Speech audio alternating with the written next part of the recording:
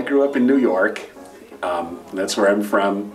I was born in New York City, and then a little later, I moved to Brooklyn and lived there until I was 17 years old.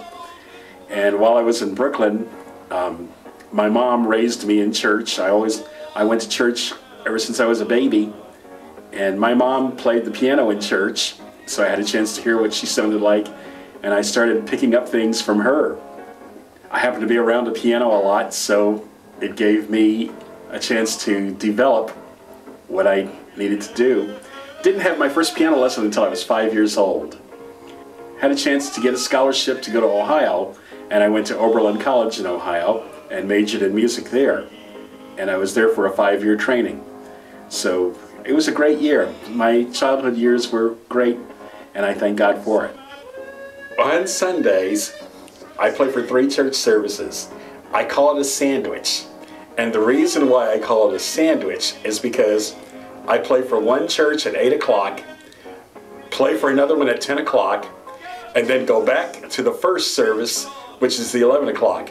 So if you so if you're trying to figure out what I mean, the bottom of the sandwich, which is the which is the bread, is the 8 o'clock service. The filling that you get on the sandwich is the 10 o'clock service, and in the top part of the sandwich, which is the top part of the bread, you get that at 11 o'clock. It's fun to play different types of music. I love playing it all. I love the pop. Easy listening is my favorite. Um, rock and roll is all right, but the only thing I don't like about it is that when you're playing rock and roll on the piano, it limits you. But gospel music is my priority. I was raised on gospel music. I grew up with it, and it's the foundation of my life. And thank God for my mom and for her first husband that raised me up in the church and listening to gospel music on the radio. It means a lot to me because gospel is the Word of God.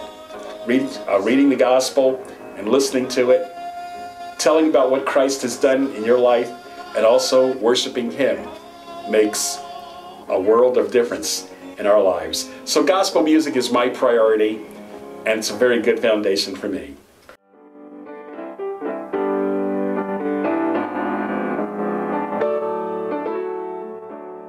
All of the Bibles are, are free of charge to anyone that is blind, totally blind, or visually impaired. So if you want God's Word and you're having trouble trying to read, you can listen to it anytime, day or night. Thank God for Aurora Ministries using this as an outreach.